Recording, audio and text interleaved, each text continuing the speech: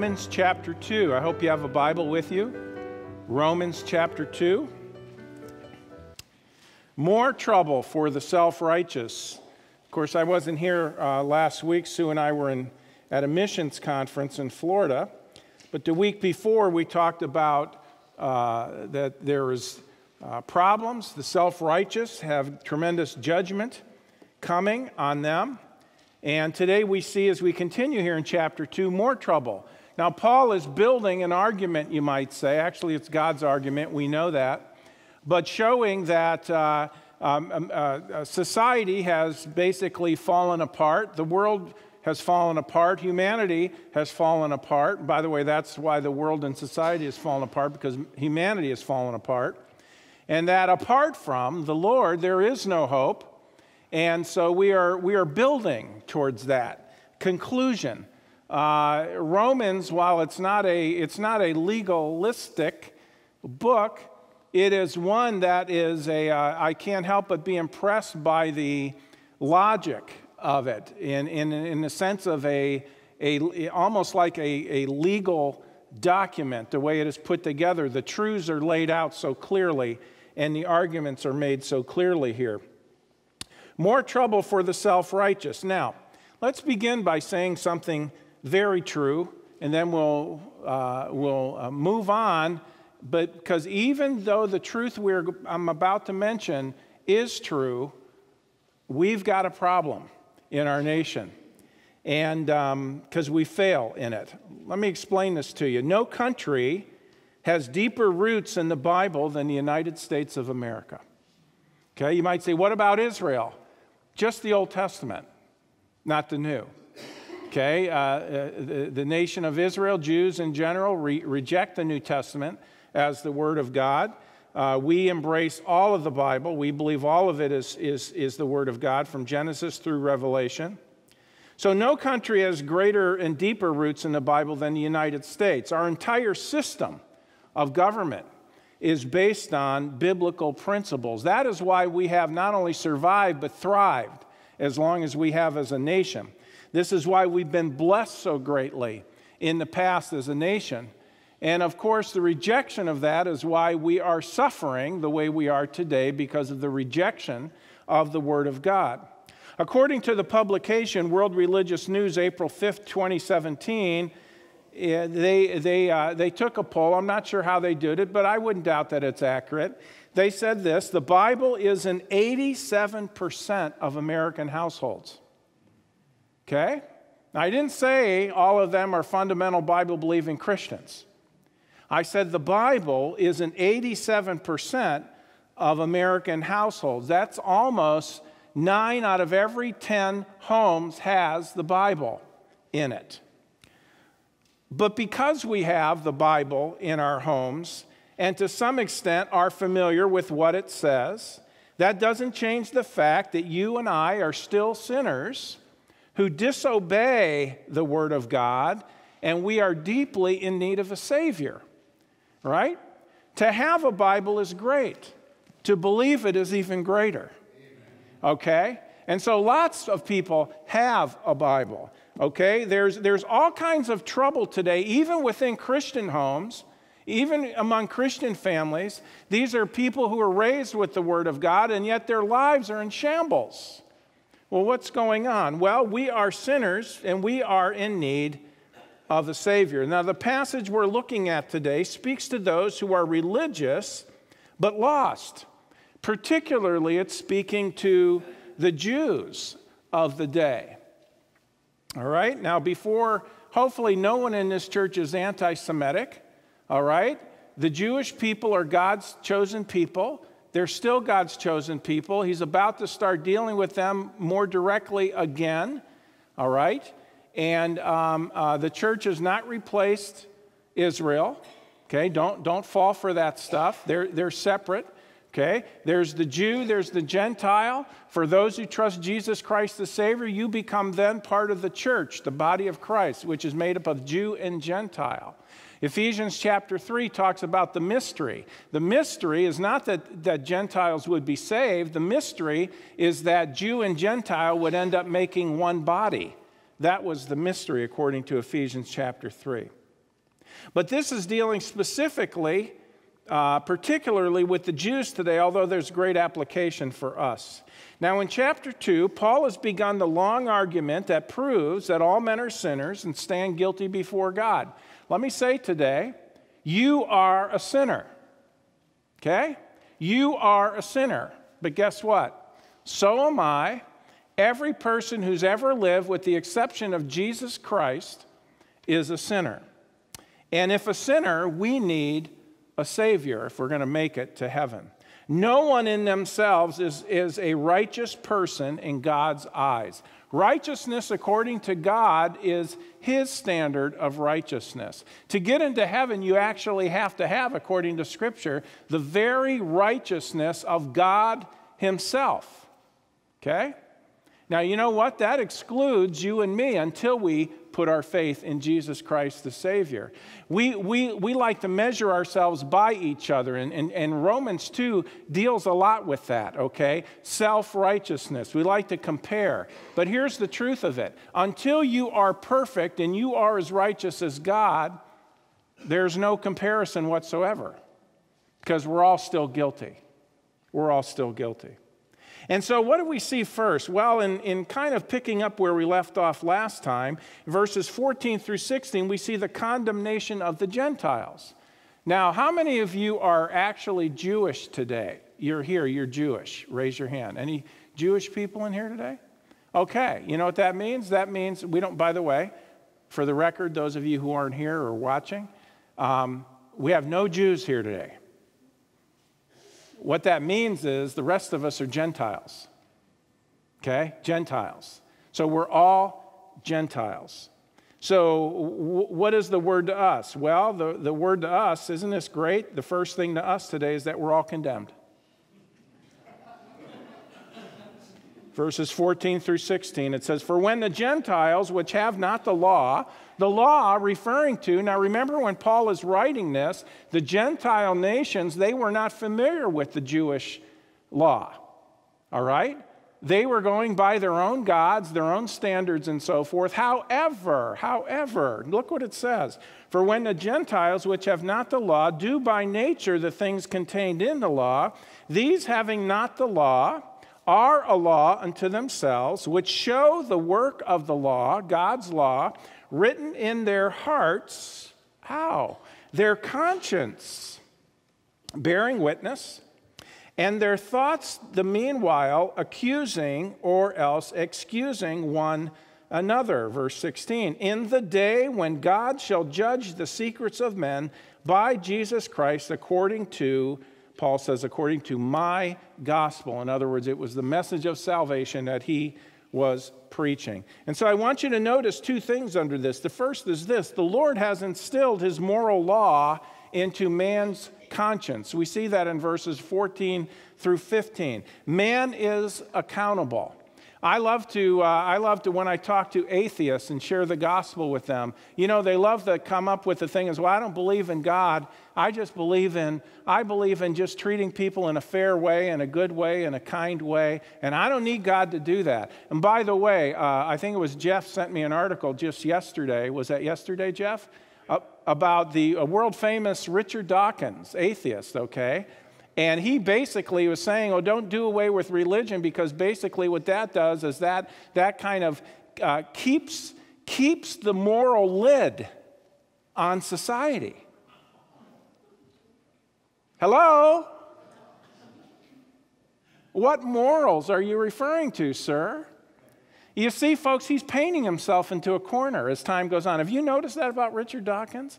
He's painting himself into a corner on this. Here's the truth of it keep pressing an atheist when you talk to them. Be very kind to atheists, okay? And by the way, atheism is a, is a disingenuous position because there is nobody in the world who can prove there is no God.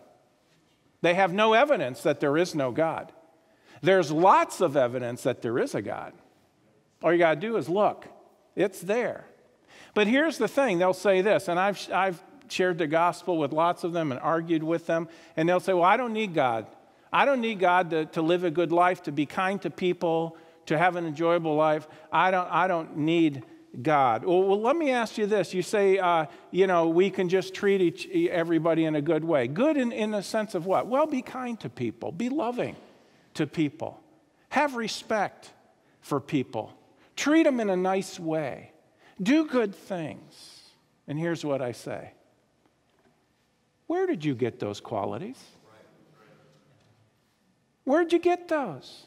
Well, uh, uh, no, no, no. Where'd you get those? What's the origin of them? Well, they were, here's what they say. I've heard this, I don't know how many times. Okay, they must have a, a, a manual or something that they use. Here's what they say Well, these are things that society has decided.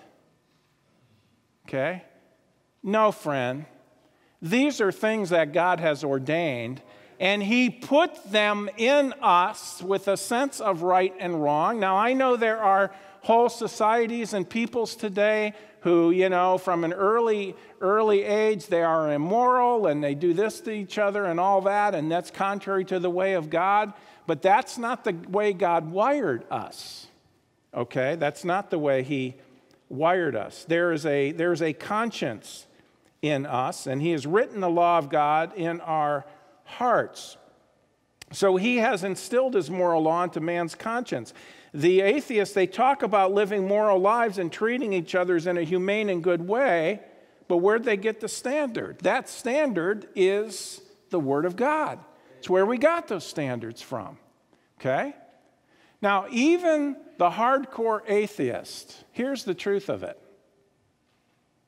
I was going to say the nasty little secret. It's not nasty, it's wonderful, actually. Here's the truth of it, okay? Every one of them, regardless of how they may lambaste God, every one of them wants to be treated in a Christian way. Every one of them. Every person on the planet wants to be treated in a Christian way. Why? Because it's ways of love, kindness, understanding okay? Encouragement. These are God's qualities. These are God's qualities. Compassion. But secondly, under this, the gospel is the standard of judgment because it holds up the righteousness of God as the standard for what is needed to enter heaven. Now, where do I get that? Well, we see that in verse 16. God is going to judge the secrets of men, the, the things that men is holding in, by Jesus Christ, according to my gospel. What is Paul's gospel? Well, hold your place and go to chapter 1. Chapter 1. He clearly defines it. And again, the standard of righteousness is not man's righteousness, the standard of righteousness is God's own righteousness. So here's the issue, friend. If you believe you can be good enough to get to heaven, let me ask you this Do you think you can be as good as God?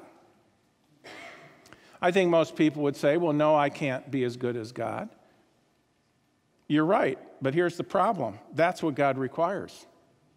If you're going to get in, and, and, we saw that by the time last time, okay? Our, by, the, by the way, we saw that last time where, okay, if you could earn your way, fine. But if you're going to earn your way, you got to be perfect from the day you're born to the day you die in thought, word, and deed. Guess what? we're all guilty, we all fail, we don't qualify. Therefore, if we're going to get into heaven, it's got to be by a source outside of ourselves. Romans 1:16, Paul's gospel, he says, "For I am not ashamed of the gospel of Christ." And by the way, the word gospel means good news. It's simply referring to that Christ died for our sins according to the scriptures. He was buried, he rose again the third day according to the scriptures. 1 Corinthians 15, 3 and 4. He says, For I am not ashamed of the gospel of Christ, for it is the power of God unto salvation. Notice the next phrase to everyone that believeth, not doeth, not worketh, not is faithful, not is committed, not is a good person. No, to everyone that believeth, to the Jew first and also to the Greek.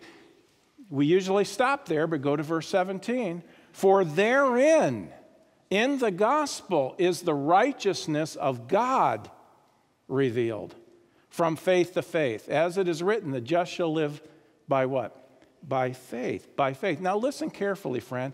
Here's a, here's a class today on instant discernment. God wants us to be discerning. Okay?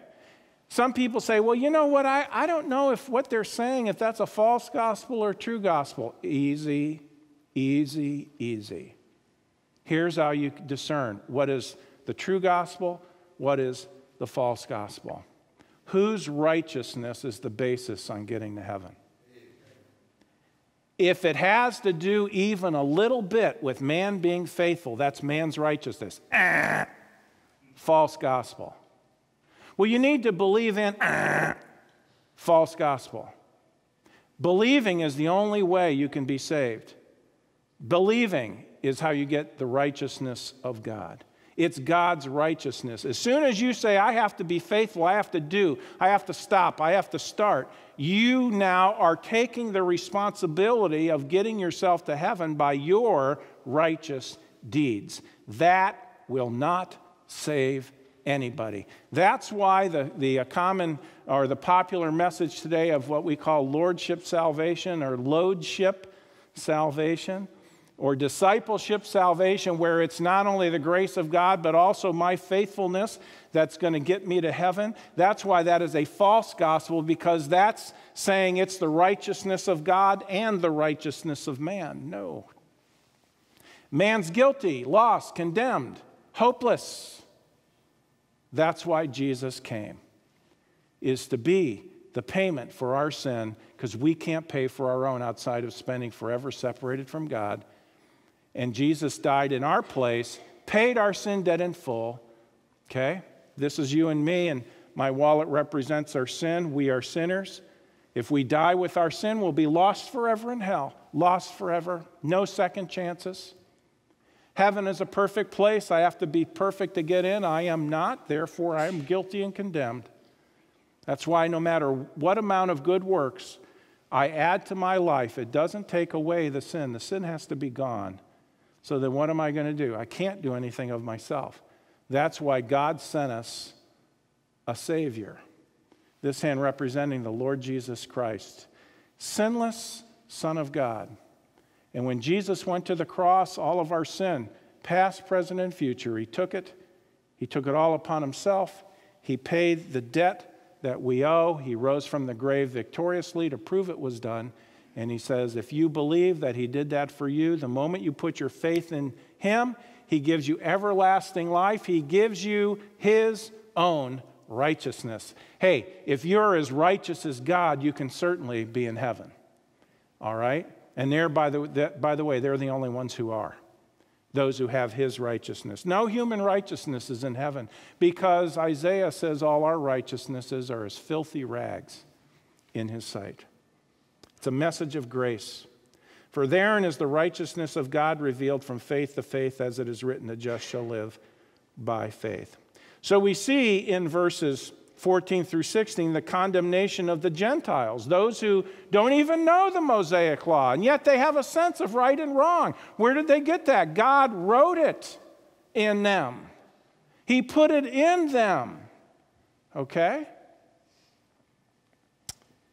But secondly, we see the condemnation of the Jews, verses 17 through 29. It says in verse 17, Behold, thou art called a Jew and resteth in the law, and makest thy boast of God, because the Jews are God's chosen people. And so, you know, they thought, hey, we are, we are the ones, we're the elite, you might say, of the world.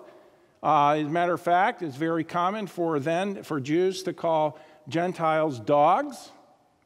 All right? Behold, thou art called a Jew and restest in the law and makest thy boast of God, and knowest his will, because they know the word, and approvest the things that are more excellent, being instructed out of the law. You listen, you've been entrusted with the perfect standard of the word of God, and art confident that thou thyself are a guide of the blind, a light of them which are in darkness and by the way, this was the responsibility of the Jew towards the nation, nations. An instructor of the foolish, a teacher of babes, which has the form of knowledge and of the truth of the law. Now, you notice there was the mindset of the Jews at the time. Uh, here's, here's how they saw themselves compared to Gentiles. They say, you know what? We know the law. God gave us the law. I didn't give you Gentiles the law, He gave us the law. And, and, and you know, we are, we'll, we'll, we'll instruct you. We're a guide of the blind, we're a light of those of you who are in darkness. You're foolish, but we'll instruct you. You're like babies, but we're teachers of babes. Okay? which has the form of knowledge and of the truth of the law. You see, here's the point God is saying this what arrogance there is of not only the Jews, but also other religious people of our day. Folks, you see it all the time. People who think, who think they are righteous because of what they do. Okay? here we are and we can we say, you know what, I'm just a lost, guilty sinner. I am so glad God saved me by his grace. It's just, it's just all of what Jesus did. It's nothing of what I do. Oh no, you're one of those people who believes in that easy believism stuff. Let me tell you something. You're not going to heaven. After the Bible, after way, after all, the Bible says, not everyone who says to me, Lord, Lord. Hey, haven't you read the rest of those verses? The fact is, that passage in Matthew 7 condemns the very ones who use it that way. Because that passage talks about they're the people saying that, they're the ones trusting in their works to get in. And Jesus said, I never knew you. Depart from me, you workers of iniquity. It's just the opposite of the way people use that passage. Here's the point, folks you can't do anything to save yourself. No amount of faithfulness, commitment, sacrifice, reformation can get you into heaven. And because the Jews were somewhat smug about them being God's special people and having the Word of God, they figured, well, we'll give the, the nations a break and we'll let them know what the truth of God is. But read on. See, read on in, in the text. See, they were, and many people are today, proud of their religiosity and, and accomplishments. Now, listen, I love Catholics. I love Catholics. I was raised Catholic. I was raised Catholic. Matter of fact, I was named after a Catholic priest. God has a sense of humor. and I can tell you that Catholics are taught that they are right and the rest of the world is wrong. Okay? And that they, they are the ones who are the holders of truth and everybody else is wrong. That's the way you're taught as a Catholic. Okay? The Pope is infallible and, and the church is goes all the way back, they say, it's not accurate, but they say it goes all the way back to Peter. They'll say Peter was the first pope, and on and on. By the way, that is completely made up. And if he was the first pope, we're all in trouble because Jesus said to him, Get thee behind me, Satan. Anyway, here's the point many believe in their hearts that their good works, that's what I was raised believing, good works, gift to charities, etc., will gain them entrance into heaven. We live in St. Cloud, very, very Catholic community, not totally, but very Catholic. And again, I love Catholic people, okay? And I, I, I appreciate, uh, I appreciate people who, who believe in, in living in a right way. That's a good thing. But, friend, if you're trusting in that to get you to heaven, that's a terrible thing. And here's a lot of people, not only in St. Cloud, but all over the world. And by the way, not just in Catholicism, but in all the man, man, uh, man-made religions. They're thinking, you know what? I will give this enormous sum of money in my will to this cause. Or, you know what? I've got these millions, and I'm going to give them millions. I'm going to give millions to this. And, and, and in their back of their mind, they're thinking, certainly this should help me get into heaven. Okay? And you can even talk to some, and they'll say, Do you think that's going to get you into heaven? And they'll say this with a smile on their face Well, it can't hurt. Really? The truth of it is, friend, that can hurt you forever. Because if your faith is in your good deeds, gifts, kindness, good works. You have a false Savior. You are your own Savior which according to the Bible is no Savior. You need the righteousness of God, not your own, which is not going to get there. Now, as we have already seen in chapter 2, verse 1, those who judge others are guilty of the same sins. Revel, uh, not Revelation, Romans 2.21. Thou therefore which teachest another. He's, again, he's, he's kind of, okay, okay, you Jews, this is what you believe? And I'll just exp- I'll expand this today. Okay, you self-righteous people, you religious people, this is what you believe. Because they'll say, well, you need to do good works. Well, how many good works? Well, you need to, you need to do good works. You need to turn from your sins. How many? Well, you, a lot. Have you turned from all your sins? Well, no, but this is what you need to do.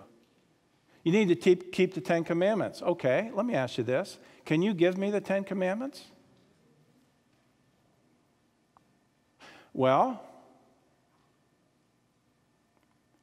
don't lie, don't cheat, don't steal, don't kick a dog, don't kick a cat.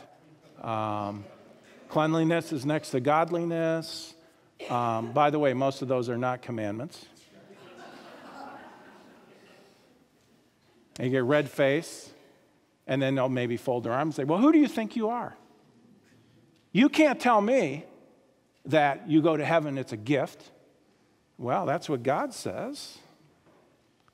Why is it a gift? It's a gift because we can't earn it. It's a gift because we could never pay the price. That's why Jesus came. Thou therefore that teachest another, teachest thou not thyself? You teach others, but you don't follow what you teach. Thou that preachest a man should not steal, dost thou steal? By the way, the answer to that is yes, you do. Oh, no, not me. I've never stolen anything. Well, let me ask you this what about cheating? Have you ever cheated? Fess up. Sure, you have. No, no, no, I've never cheated. Never? In your life? In any way?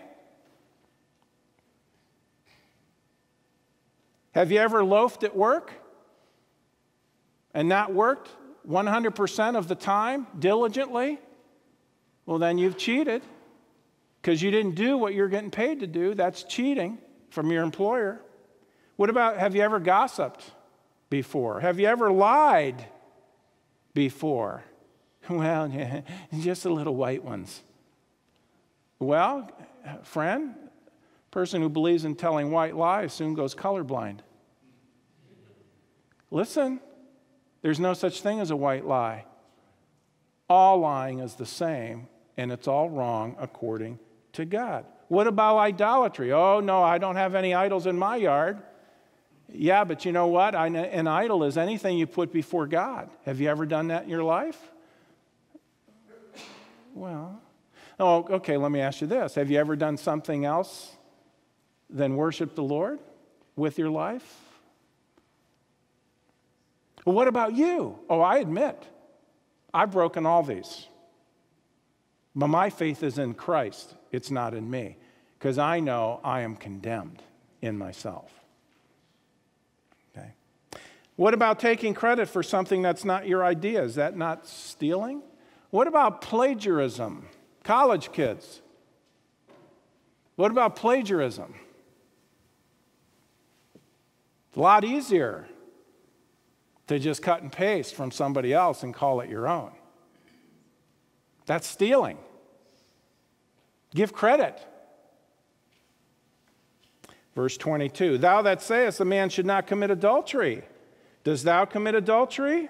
Oh, no, I've never committed adultery. Let me ask you this Have you ever looked at another woman and lusted? Or have you, ladies, have you ever looked at a man and lusted? That's, that's adultery if you're married. Jesus said that in Matthew chapter 5. Dost thou commit adultery? Thou that abhorrest idols, does thou commit sacri- sacrilege? You're against idols, but yet we don't worship the Lord as we should. You see, they, the Jews, were not true to their sacrifices to the Lord. What do I mean by that? The record of Malachi, last book in the Old Testament, was that they were giving the Lord less than their best, and God rebukes them. That's stealing from God. It's sacrilegious and it's hypocritical. What do you mean by hypocritical? Let me define hypocrisy. What is a hypocrite? Well, that's someone who complains that there is too much wickedness and violence on their DVD player.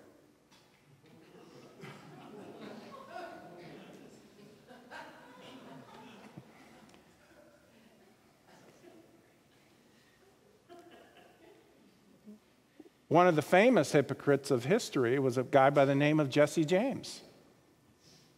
Jesse James killed a fellow in a bank robbery and shortly thereafter was baptized in the Kearney Baptist Church. Then he killed another man, a bank cashier, and joined the church choir and taught hymn singing. He liked Sundays, Jesse did, but he couldn't always show up at church. On two Sundays, he robbed trains. We wonder why people get turned off.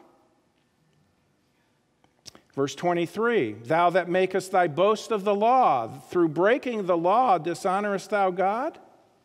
For the name of God is blasphemed among the Gentiles through you, as it is written. Okay, which leads us to our third point. The hypocrisy of the Jews and their self righteousness made the Gentiles doubt the validity of the Word of God. And folks, nothing has changed. And even those of us who are born again, saved people, when we do not live out the Word of God, the onlookers, the skeptics, they look, and yes, they've got their own sin. I get that, and I understand we're not perfect. But they look at us and they're looking. That person claims to be a Christian. And by the way, in their mind, they have a higher standard than many of us do in the way we live. And if they see our lives filled with hypocrisy, they say, I don't want any part of that.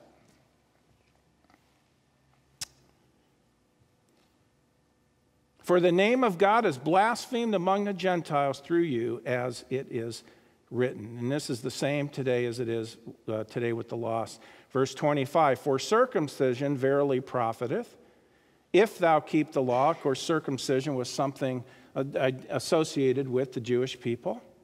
For circumcision verily profiteth if thou keep the law. But if thou be a breaker of the law, thy circumcision is made uncircumcision. You, you, you might as well have never had it uh, done and you being identified with, with uh, Judaism and, and the Lord God, if you break the law, what good is that if you break the law? You see, a Jew who breaks God's law stands guilty before God in the same way as a lost Gentile stands guilty before God. That's what God is trying to get us to understand here. The Mosaic law was and is impossible to keep perfectly because we all still sin. All right? Verse 26.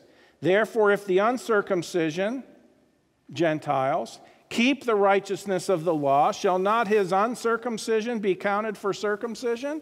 In other words, he's a better Jew than a Jew. But this is hypothetical because the Gentiles don't do it either.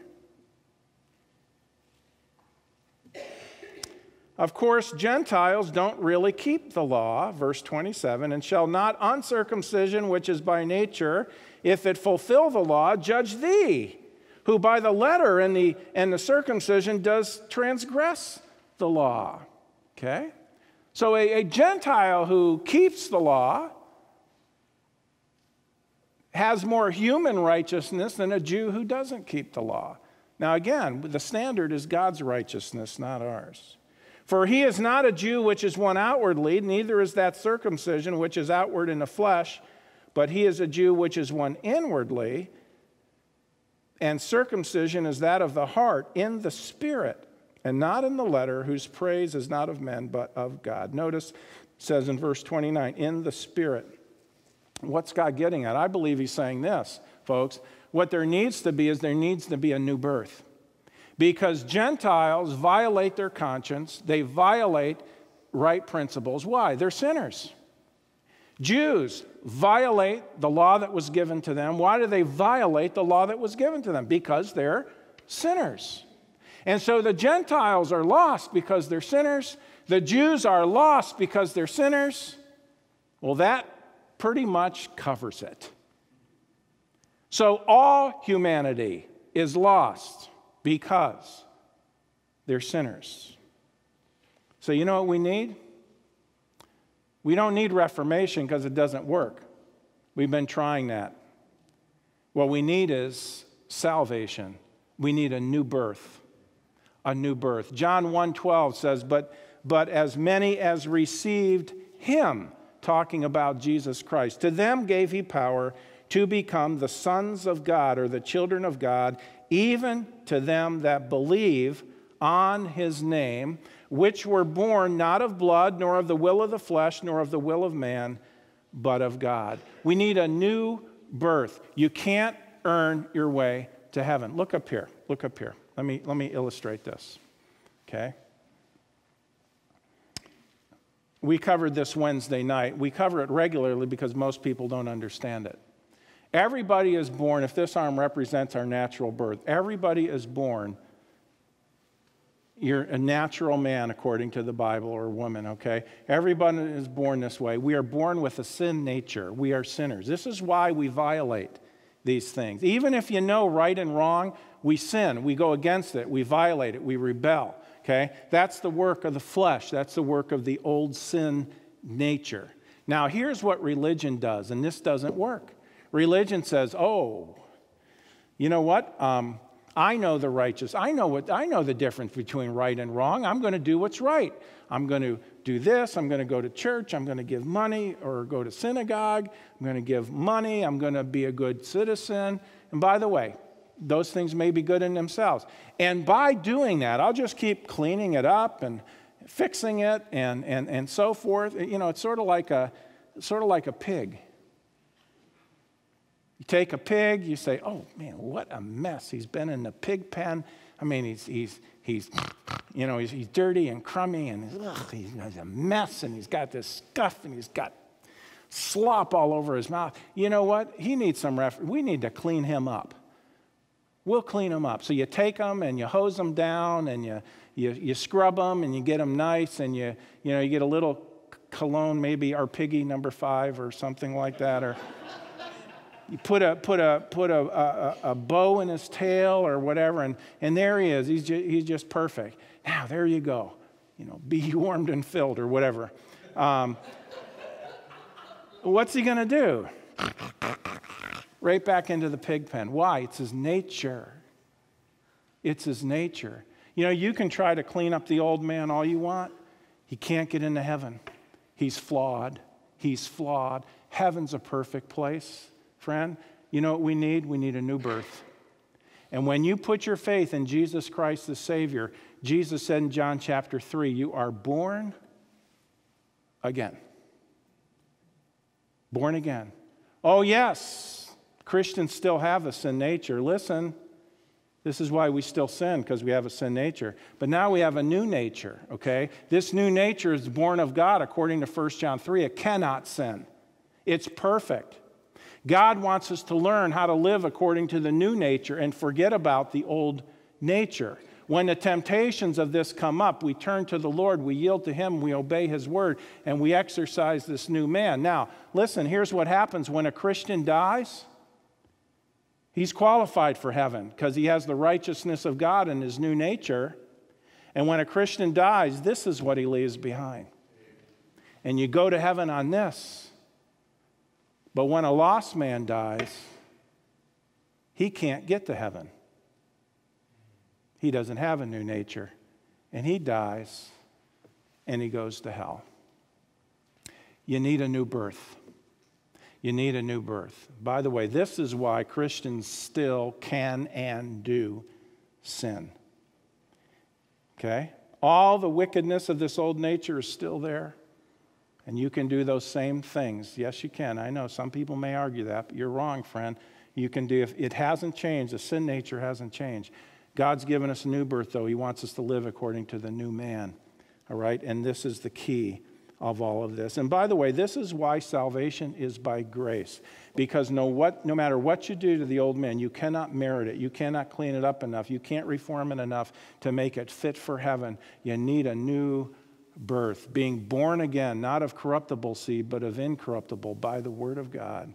We need a new birth. And when you die as a Christian, you leave your old nature behind. Hallelujah, by the way. and we go to be with the Lord because we've been born again. Look up here, over here. Ephesians 2, verses 8 and 9, up there too. Look what it says For by grace are you saved. Boy, I love that word. Unmerited, undeserved. When you understand there's nothing you can do to save yourself, you become a candidate for the grace of God. Because you understand, you know what? I'm helpless. I'm hopelessly lost. The only hope I have is what Jesus did for me on the cross. Yes, that's where God wants you to be. For by grace, God's unmerited favor and kindness, are ye saved through faith. That's all. Faith. And that, look at it, it's not of yourselves. You're not saved of yourselves. It is, salvation is the gift of God, the gift of God. Look at the next phrase not of works, not of works, lest any man should boast. Every religious person in the world is trusting in their works to some extent to get them to heaven, and it will not save. The only way we can be saved is by grace, not works. Grace. It is God's unmerited favor towards us, and He gives it to us as a gift. Salvation is a gift.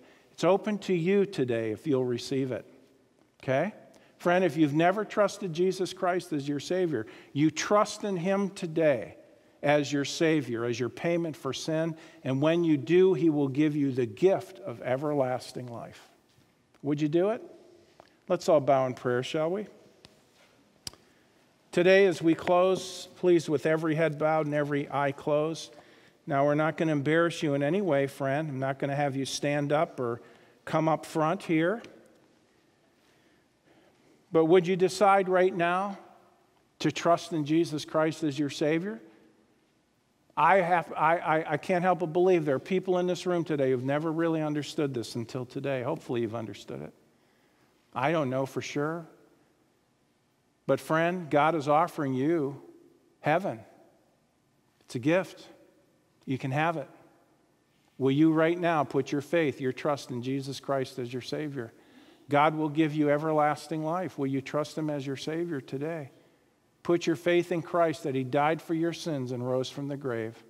When you trust in Him, all your sins are forgiven. You cannot go to hell once you've trusted in Christ. He's given you a home in heaven as a guarantee, and He'll never take it away. Jesus said, Verily, verily, I say unto you, he that believeth on me, has, hath right now, everlasting life. Will you trust Christ today as your Savior? Would you do that? In quietness of your mind, you cannot make a mistake. The Lord knows what you're thinking. Get it settled with Him. Get it settled. Now, if this made, if you, you've never understood it until today, and if this made sense to you today, and today you trusted Christ the Savior, could I pray for you as we close? I won't embarrass you in any way. I'm just going to ask you to slip up your hand. Now, raising your hand doesn't save you, just lets me know that it made sense to you today, that today you trusted Christ. I want to pray for you, friend. Could I do that? I won't embarrass you. But is there anyone who would say, God bless you, dear friend? I see your hand. Pray for me. Today I trusted Christ as my Savior. Is there anyone else? Pray for me. Today I'm trusting Christ, Him alone, to get me to heaven. Is there anyone else? Pray for me. Today I got it. Today I trusted Christ. I'd like prayer. Anyone else? Father, we thank you for this one who indicated that they understood today and they trusted Christ as Savior. I pray that you would bless them, that you would guide them, that they would understand once they trust Christ, they become a child of God. And now, Father, you would like them to start growing as a newborn baby. And that's through learning the Word of God and, and, uh, and, and getting exposed to it and applying it to life. So I pray they keep coming out to church and keep learning the Scriptures and growing spiritually and how you're going to work in such a marvelous way in the life of one who does. For the rest of us, Father, I also pray that we will continue on. We rejoice, Father, with all who come to faith in Christ. And uh, we thank you for your word today, how clear and powerful it is. We know, Father, it's all by grace. It's the only way we can be saved, and we thank you for that. Bless each one. We pray, Father, all could come back tonight and be encouraged as believers to continue on as we should and to stand up for Jesus. Thank you, Father, for all your goodness. In Jesus' name, amen. Well, friends, that concludes this edition of Voice of Assurance. Thanks so much for listening, and would you share this ministry with a friend? To contact us or learn more about our ministry, please visit www.northlandchurch.com. Your prayers and support for this ministry are greatly appreciated. Thank you so much, and God bless you.